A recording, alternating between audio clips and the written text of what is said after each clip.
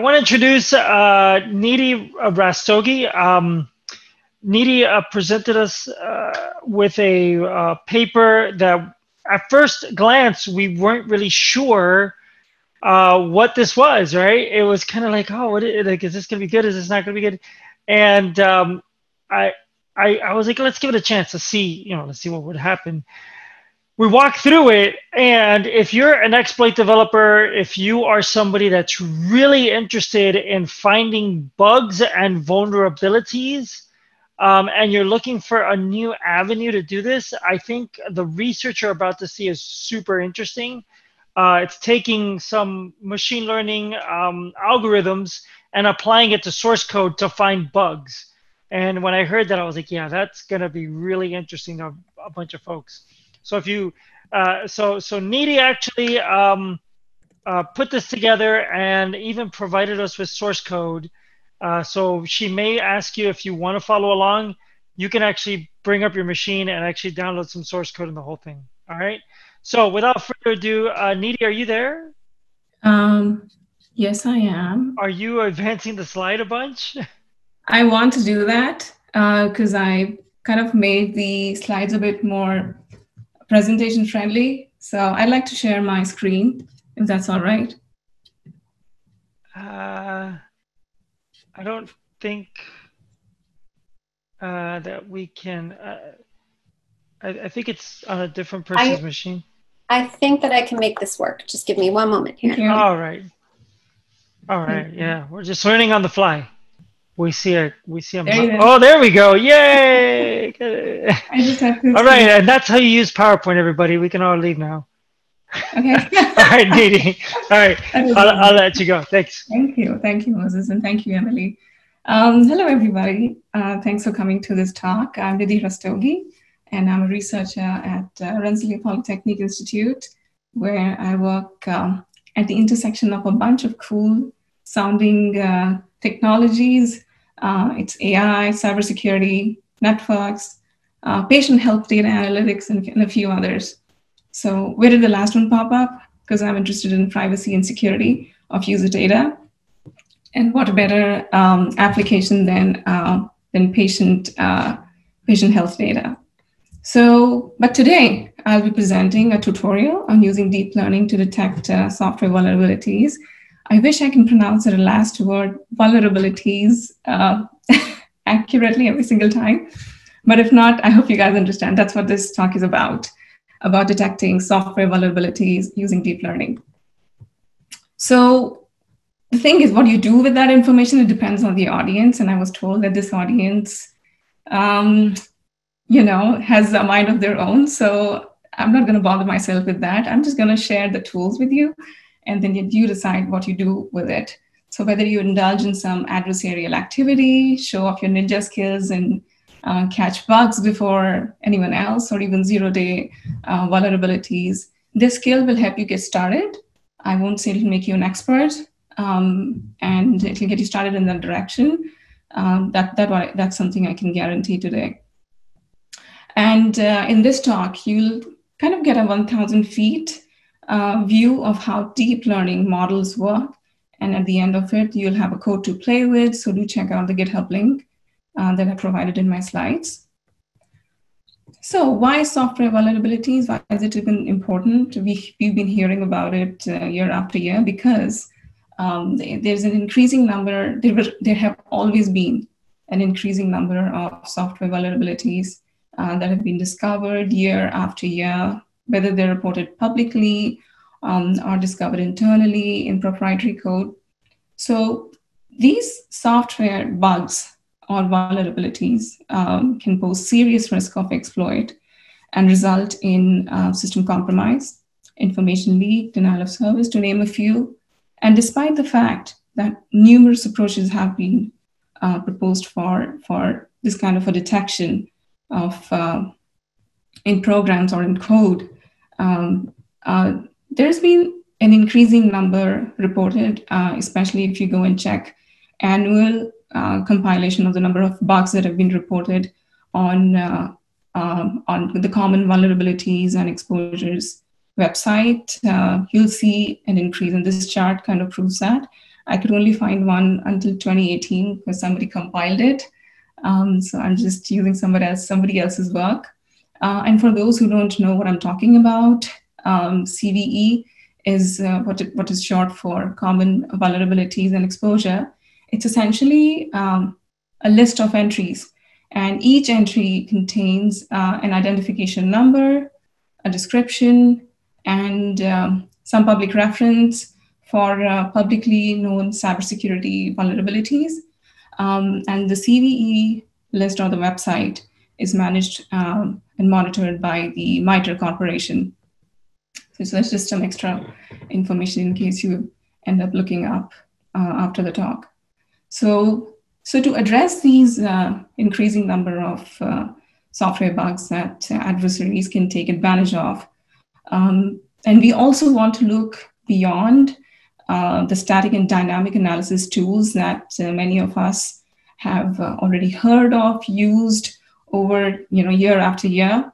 Um, there has been a significant significant work over the past many years um, in the usage of uh, machine learning um, for program analyses, and uh, what they're able to show is um, you know what they're able to show using machine learning is um, you know where is um, if if a program is vulnerable or not. It, it and there are other kind of analyses which can be done using machine learning um, and how has that become possible? Uh, is because there is big data. Big data has exploded even in the security space.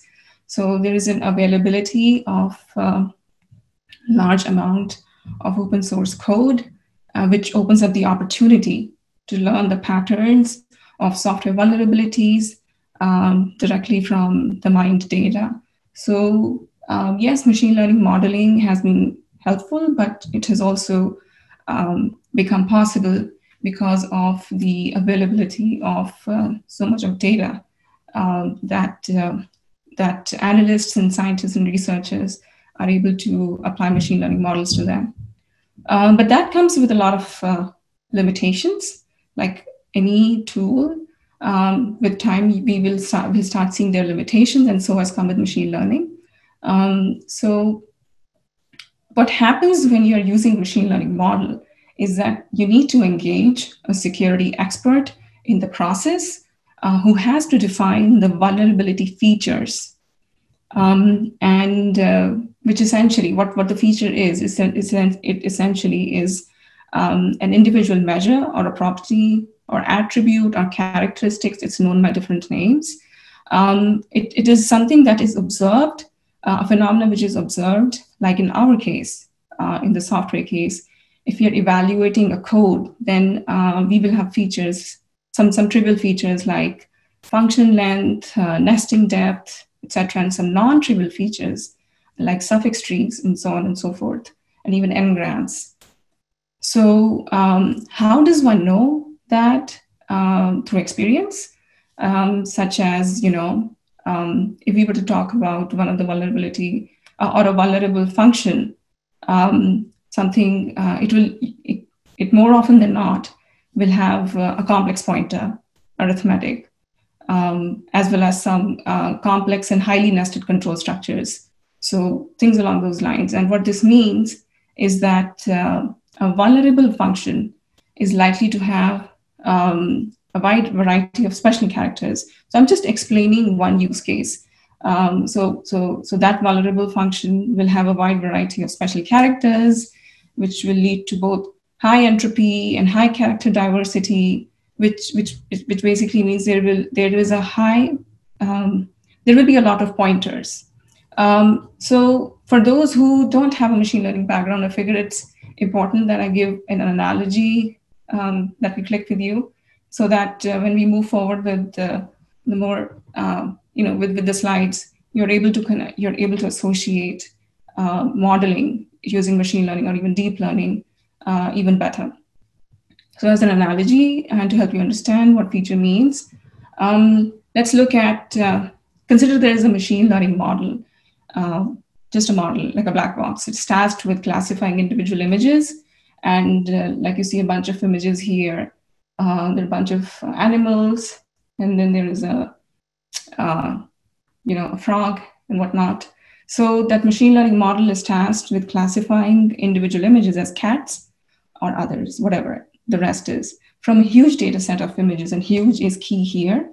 Um, and to do that, um, the analyst or the machine learning model operator, they need to supplement the model with the attributes it needs to consider in order to perform this binary classification so, so that there's a uniform approach across every image. So there has to be feature description, uh, like in this case, uh, if, if, I were to uh, classify that an image belongs to a, to a cat. So some of these features are ears, color of the um, of that uh, thing, uh, the shape of that thing, the eye shape, eye color, uh, even the fact that they have eyes. All of these become part of the features. I've listed just some very obvious ones. So the, the model requires some kind of features as well as data. So features and image data set, they're fed into the CAT classifier, machine learning model. And believe me, there are classifiers which do that, uh, plenty of them, because uh, images are very easy to find um, and uh, it's, it's an easy data set to work with. Uh, easily available data set. I wouldn't say it's easy to work with. So as a result of this, uh, in the most simplest form, um, the model will spit out uh, images, classifying them as cats or those that are not with some accuracy. So that's what the machine learning model would do. Um, uh, a, a, binary classifier. So there are plenty of machine learning models, but we're only talking about a very simple model. So this will be able to tell you with accuracy that 70% of the cats, um, uh, 70% of the images are cats and the rest are others.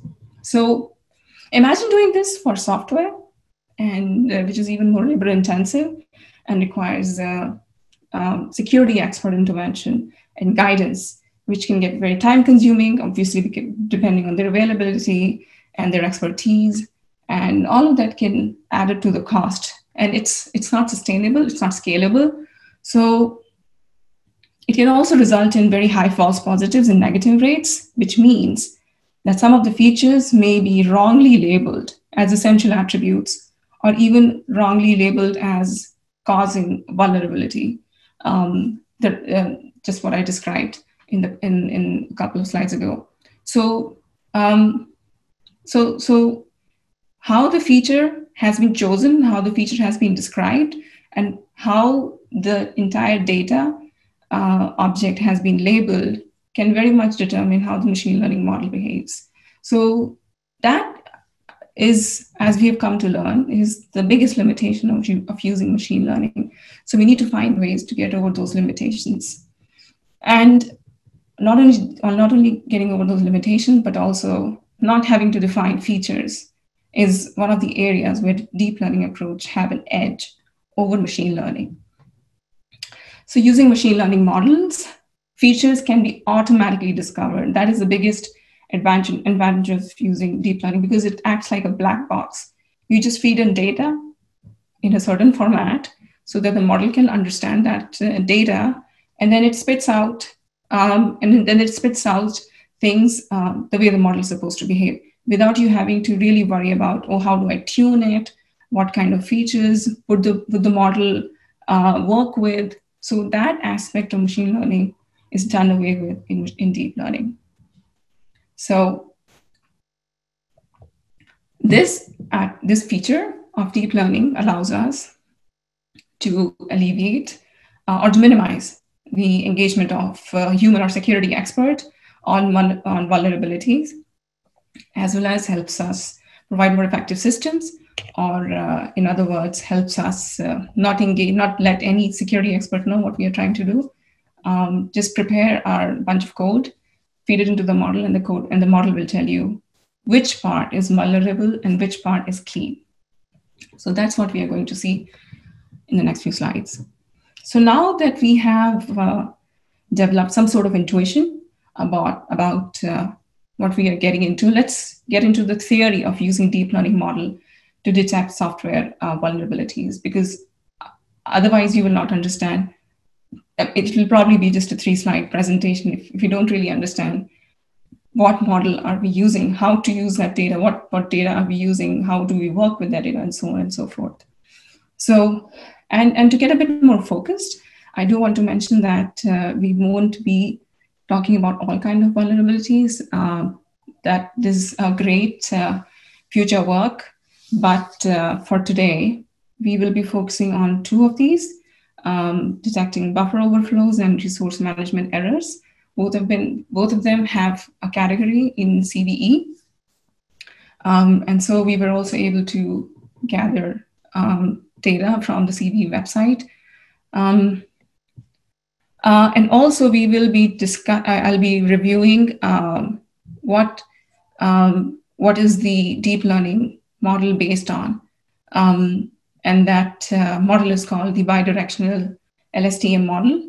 Uh, LSTM stands for long short-term memory. I'll be describing how the model works and why did we choose this one over the others, um, so that we can appreciate, um, you know, the the uses of different models. So Okay. Um, yeah. Um, so let's first talk about uh, what the modeling entails, the deep learning modeling and modeling entails. Um, this, this deep learning model or the bidirectional LSTM model uh, entails some of the steps that I'm going to talk you through, uh, talk through one by one. Uh, but first, let's let, let me give you an overview of what these are. So the first one is to prepare the data, which in our case is the source code. Um, and, and, and, and this one was focused only on C, C++ source code. Um, the next step is uh, to choose the appropriate neural network, which will perform the deep learning. Um, that's just, these are just interchangeable terminologies to use in case somebody is wondering. Um, and the, uh, and, and in our case, uh, this neural network or the deep learning model is the uh, is the binary LSTM model. This is followed by actually running the model using the data and then uh, gathering results followed by analyzing them. So this is what we're going to be uh, learning in the couple of next couple of slides. Okay, so data preparation, that's extremely important. Um, before you feed anything to the model or, or any model, uh, you need to prepare the data in such a way that the model can understand and work with it. So let's first talk about that. Um, in this step, um, we need to understand that deep learning model will not accept the code as is and it has to it has to accept it in a form and in, in, in the level of granularity that it will understand and because what we want is that uh, if we give the deep learning model some code it is able to tell us point us that this section of the code is vulnerable or is it clean. So for that, uh, we do need to do some work. And what that entails is that uh, first step is to transform the C, C++ code into an intermediate representation. So there's a code and then there's a model. In between, there are a couple of sub-steps.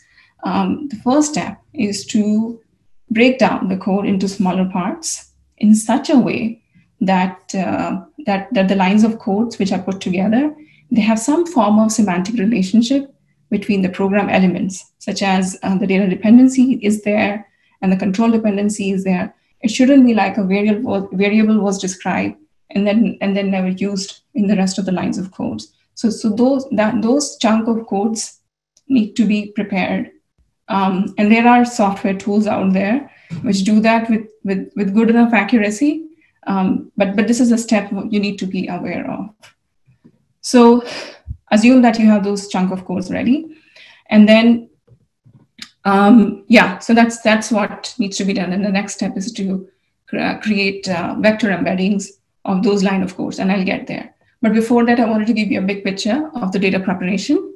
Um, so we have the C, C++ code, which you have broken down into smaller chunk of codes, which are semantically linked.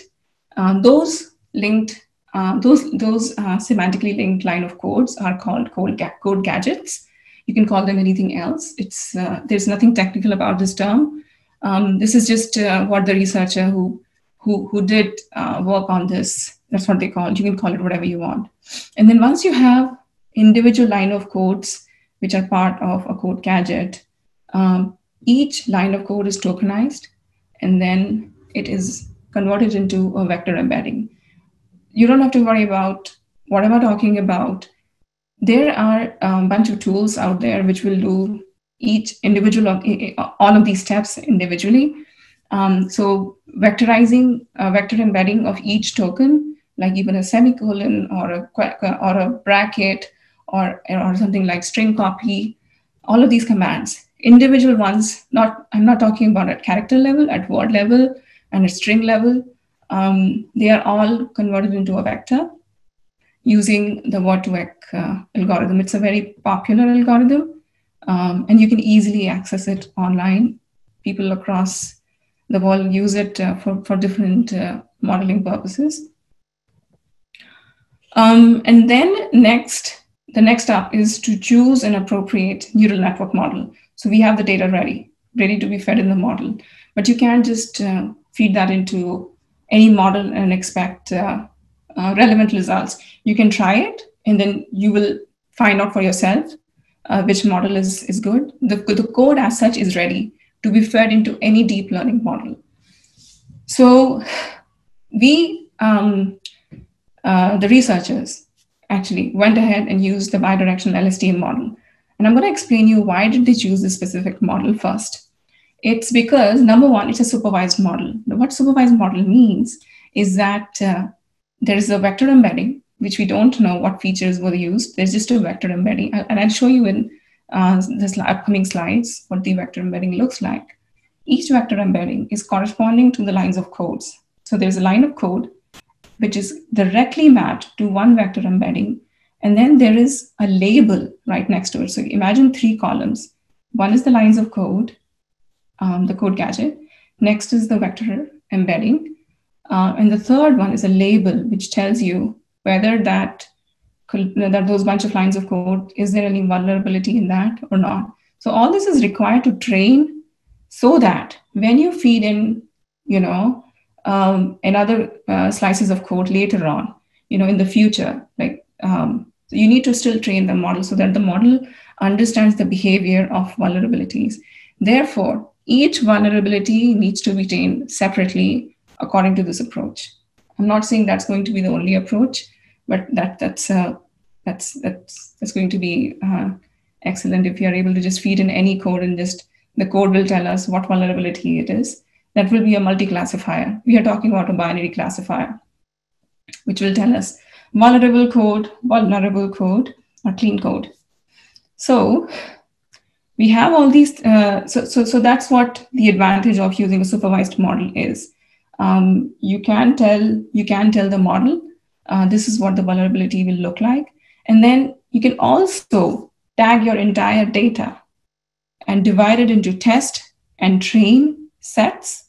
Uh, even when you are testing you already know what the value of that label is but you can always test it um, using the model and then the model will tell you how close um, were your predicted values versus the actual values so, so that's essentially how um, um, we, we do analyses for all these models, but, I, but, but we'll talk about that later.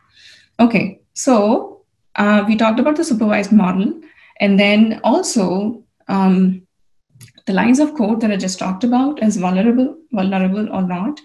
Um, because the problem that we are dealing with is to identify vulnerability in programs. Programming is uh, logic in sequence. It's, it's all done sequentially. Uh, so that's why those lines of code have to be semantically linked. So that that effort is required for for training. Um, so so and the bi-directional LSTM model is excellent when there's a logic, uh, sequential logic to the input, which let's just check mark for now that yes, there exists. Um, and, and I also want to explain a little more about the model. What does bidirectional mean?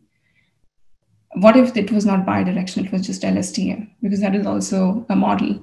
Um, so LSTM, which is called long short term memory, uh, what it does is it preserves information from inputs or the vector embeddings of the lines of code. So the input becomes the vector embeddings.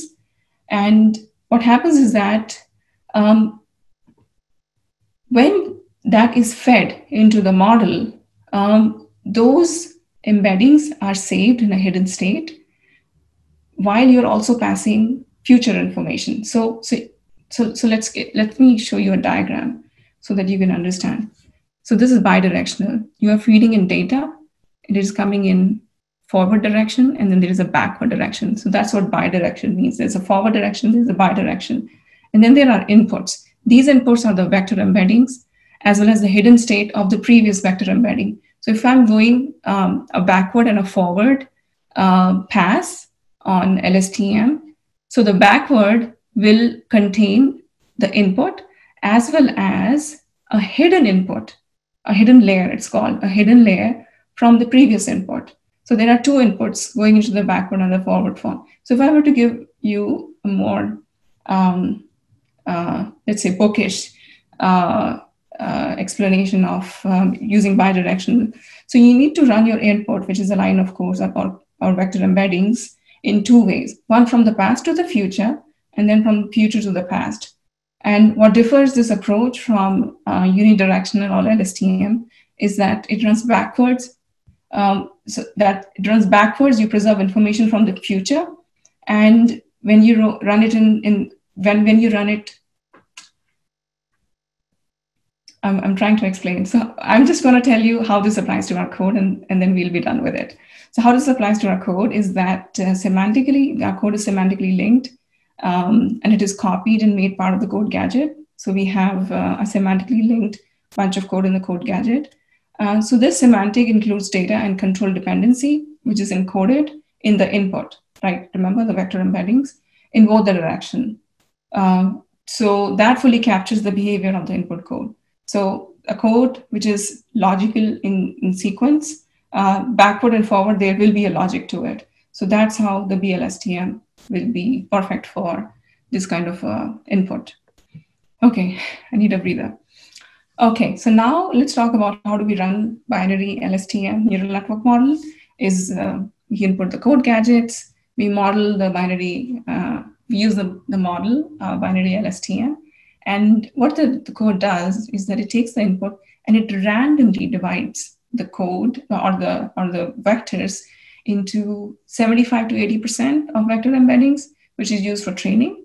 So now the, the, the training is basically understanding the behavior of vulnerabilities. Um, and then we test that on separate code, which has not been identified as vulnerable or clean. So that's what the modeling does. And as the output, what, what we get is that we get um, a map to the vector embeddings, which tells us uh, or the labeling of the vector embeddings, which tells us whether that specific vector embedding is it vulnerable or not vulnerable. You should have a separate mapping of that vector embedding in the lines of code so that you can reverse map it to, oh, this vector embedding, it's saying it's vulnerable. What is it associated? What is the line of code that is associated with? And then you can look at look back to the original CC++ code. So that's how we are preserving provenance of uh, these vector embeddings.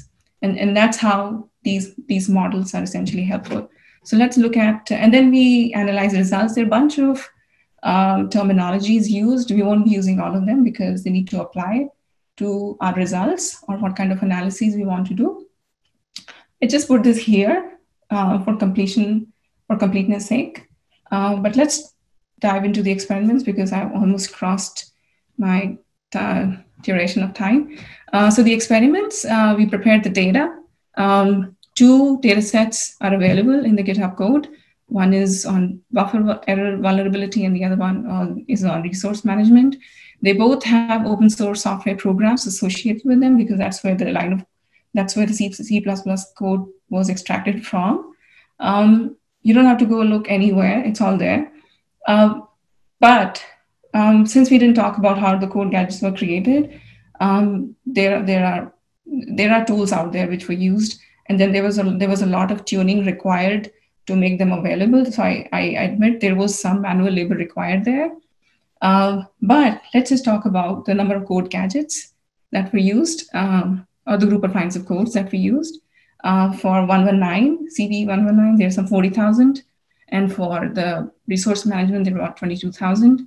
Um, so they're just ready to use. And these are just the steps, really just a handful of steps, which are required to prepare your environment to, and to help you get go with the code. Uh, you do need So TensorFlow is something which is absolutely necessary. Uh, the libraries will help you run your deep learning code. And then uh, each deep learning model has a set of parameters. Um, these parameters, you can play with them and then kind of see how the results show up. Um, so, so this um, is essentially how code gadget looks like. You'll notice here, um, the, these were all put together the zero. Uh, so this is one code gadget all in one file, CWE119. Uh, this code gadget, uh, or, or, the file which has a bunch of code gadgets, there are about 38,000 code gadgets. Um, so these are just a couple of lines. These are the name of the files that were used. Um, and zero, zero basically here means that, uh, um, that this was a clean code. The, the places where it is a, a vulnerable code, it says one. So that's when you look at the at these files, you'll you'll understand. And then once you run the Python code, um, the the training set. So there is a reason I can't show the um, the slide is because it takes quite a lot of time for the uh, for the deep learning model to run, and uh, that was impossible. If I were to speed speed it up, even then you wouldn't have understood anything. So I prefer to show you screenshots. So once you run this command, um, the, the model is trained. And what you see here, these are the vectors I was talking about all this time, uh, the vector embeddings. And right next to it, val is actually the label. Uh, zero, zero basically means this was clean code. So we don't find those many vulnerabilities. They're only hidden here and there. Um, but there were plenty of uh, them. And then there was some skewing occurring where the, the one case is the vulnerability um, that were detected. They, they were far and few. So there was some um, there was some work which required to be done in terms of weighing the the the, the labels. So so that's that's kind of out of scope from this talk. And then when you run the code um, for the prediction, uh, again there's a separate prediction code, and then there's a test data set, um, and then there's this is the model which contained uh, which contain the training data set, and this one kind of captures the entire behavior of, uh, of the, the vulnerable and the clean code.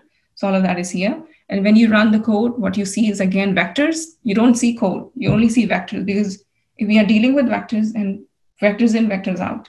So we have the vectors and then the values. So some of them will show you that they're vulnerable. Okay, next one. The analysis, how you do the analysis is kind of compare the true values with the predicted values and just add them up and uh, that uh, we see uh, analyses in different forms. So false positive rate, which is a measure of accuracy for the model, it reports positive inaccuracies, and then false negative inaccuracies. Um, sorry, false negative rate, which reports the ne- negative inaccuracies precision. It it it, it says um, the number of correct results um, divided by the number of all results and then there's a there's an ECFN score. It it it of consider, it kind of considers both precision and recall to compute the score. It's a it's kind of a measure of uh, a model's accuracy. So the higher the F1 in precision, the lower are the false positive and false negative rates, and higher is the true positive rate. So they are all kind of interlinked because the formula um, that's how it works. So that brings us to the end of the talk, and I'm open to questions.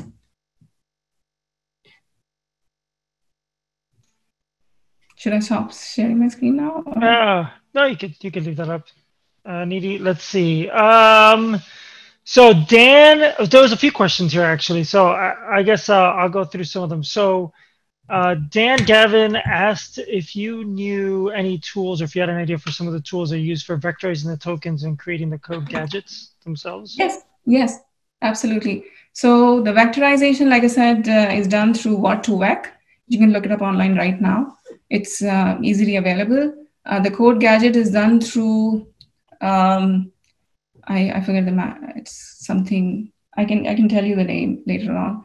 Uh, but it's sure. uh, it's a uh, it's a paid tool, but you can quickly use it and then you know use it within your uh, free subscription uh, time frame, like uh, 30 days.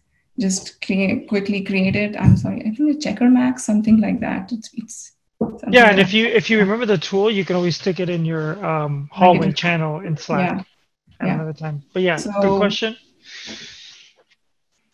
Uh, there was another question here that came in, and I think you did answer it. Like, uh, if you gave a concrete example, like what a code gadget would look like in a typical Mhm. program. Yeah, yeah, yeah, absolutely. Let me show you quickly. Sure. Uh, there it is. This one. This is what a code gadget is. You might want to zoom in because I think they Oh. may not be able to see it, or, or I'm sure they're going to post this. Uh, but basically, it looks like uh, just like a function call or Yes, something yes, yes. similar to that. These are these are just picked up from uh, the code. So so there's there's a C++ code, right? Um, there are certain lines in the code which are just put together. There's not no other. There is some cleanup which is required. That code is also available. Um, the researchers worked on it, provided it, but we kind of fine tuned it. So this can also be. Uh, yeah, there's there's. Uh, um, this is essentially C code. Yeah, and I, I, can't read it, but what I'm looking at, it looks like maybe it's a Um, use after free bug or something like One- this. One second. Let me let me try Yeah. if it's all right. Or maybe it is a buffer overflow bug. I can't actually read it, but of course it's in it's in VLC player, so it's Um, a good code, code choice because that's horribly vulnerable to everything. Okay. Uh, Yeah, one second, guys. I want to show this. Okay. Uh, okay. Share. Yeah. yeah, there we go. Yeah, yeah. So there you go. Yeah. Um, and so uh, whether it's overflow or it's use after free, and I have to read through. Yeah, it, this is buffer overflow. Yeah, it looks like this is buffer overflow, but zero here means that this code uh, is free of vulnerabilities. I can pull up the actual file if, if people are that interested. Um, Nope, it's it's fine. I think that was uh that that was pretty good. If like I said, I mean you're gonna be in the hallway later, you can actually Yeah. send them the link to the um Right. exact commit that maybe Yeah. fixes it. Okay. Um there was another one here that was more generic. Mhm. And so I think this is actually a great one for for you. So so Nidhi, um, if you are hacker or if you're not an expert in any kind of data science or machine learning, what would you recommend somebody does to get started? Like, what's a good way for them to get started in this? Um, so I, when I when I'm teaching my undergrads, what I do is just send them a bunch of uh, towards data science links. They have just the right level of abstraction, and it'll really help you get started.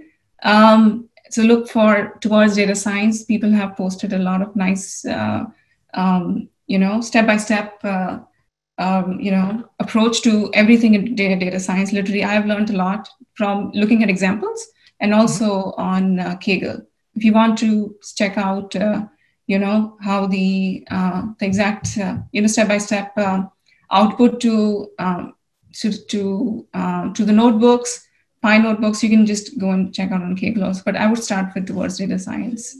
Toward data science. Yeah.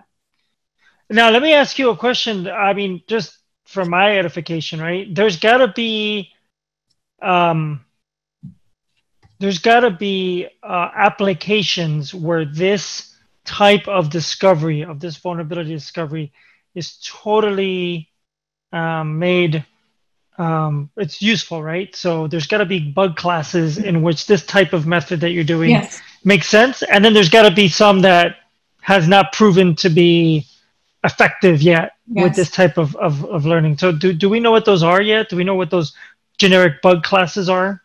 Yes. Um, so that is kind of a limitation, and this is not uh, very old work. This was done in 2018, and uh, I, I have mentioned it in a couple of places. This is not my work, uh, but the researchers didn't provide original code. So, so, so some people worked on, you know, inferring what the code will look like, and then uh, people like me looked into that code and you know kind of figured out what is missing and uh, make it a bit more accessible.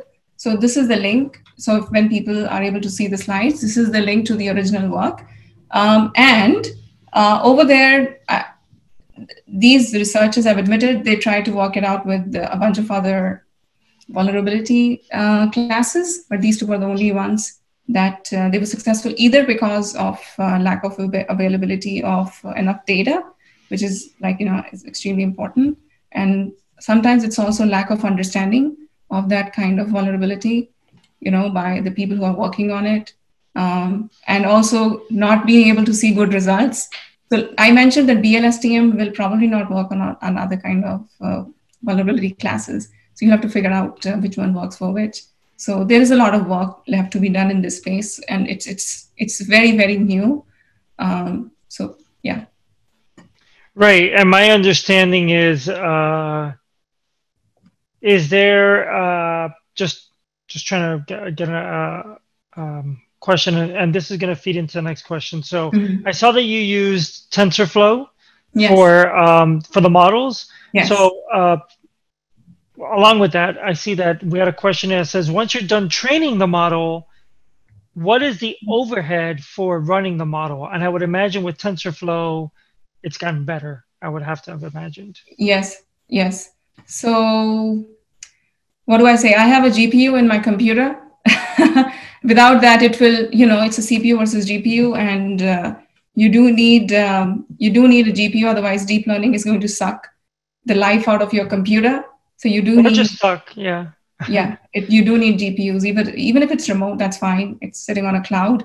Uh, there are plenty of free, you know, short-term um, uh, AWS uh, access available. I think if one is a student, uh, you can get to your student account. Your company can provide you uh, for a short period of time, or even they AWS and Google Cloud can provide. Uh, you know, there are ways out. Ways out is what I'm saying. And I, I have I have a very new MacBook Pro which has GPU, so I was able to. So my overhead. Uh, so what I saw uh, between when I used to have CPU in my computer only, and now that I both uh, with GPU, I'm just sitting and looking at my computer, and I have no clue how long this um, the the training will take. And obviously, it also depends on the size of the training. But deep learning, let's just say, uh, as a common comment, it will take uh, a lot of time uh, because you want the model to uh, understand or uh, to learn is what the training does is to learn as much as possible uh, which is called uh, fitting um, into what, what has been provided the data that has been provided. You want a large data set. And to work with that um, you do need uh, you know a compatible system. Right right. And with so much open source software today i mean i think yes all of GitHub is right is a mo- is you know a good training. Yes, even uh, Kaggle is, has freely available GPU, so you can run your code on on Kaggle platform also. Just upload your own data set, and you you will be able to try out code over there. Right, and then in this model, do you um, always have to train it on bad data or can you start training it on good data or what's the yeah. for somebody that wants to do this uh, by themselves and i know that this is not a data science class at all right so no no no I, I'm, I'm happy to answer these questions also yeah. because yeah. it's more more importantly we need to understand what the model is doing so this is a binary classifier blstm binary classifier means you need you need both type of labeling good which is uh, you know clean data as well as as well as vulnerable data but uh, outside of this, there are uh, other deep learning or machine learning approaches which perform clustering, uh, through which what we can do is either provide just the, um, the clean data and uh, you do anomaly detection because you have the ground truth through the clean data, and anything outside of that will be anomalous or we can call it uh, vulnerable data. The thing with that is we will not be able to tell what class of data it is. So for that, we need some multi classifiers. Again, when we are doing multiple multi multi classification, we do need to know the signature of that vulnerability, which will be captured uh, only if you provide it. Yeah.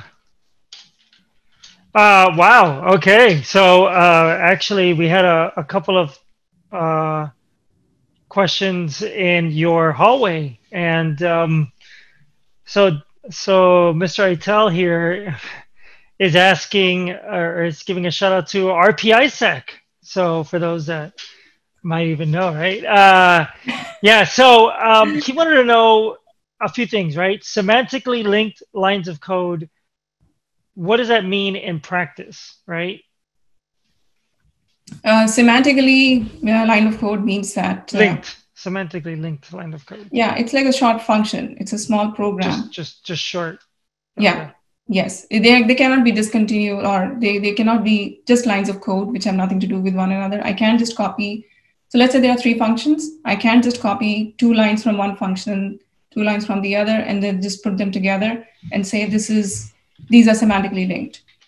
Uh, they, they need to have some continuity. Otherwise, uh, like I said, uh, BLSTM has to have uh, sequential logic that will not uh, be uh, that won't apply anymore to those lines of codes, which kind of introduces a possibility of um, introducing human error. Um, and those are, you know, other, uh, the, the, those are also avenues of, uh, you know, more research. But uh, there are definitely a lot of limitations even with this approach. Okay, and I'm going to try to reformulate his other question in okay. a way that I would want to know. Statistically speaking, okay, let's say that you took this code base, which you knew had 10 bugs. Right. Right? Does the model find all 10 bugs? Does it find nine bugs? Or so so with what kind of statistical accuracy, let's say I take a brand new sample size and I say, you know what, here's a whole new thing, right? That you've never okay. So this is this is our this is the actual analysis mm-hmm. for both known and unknown. Mm-hmm. That's right. Okay.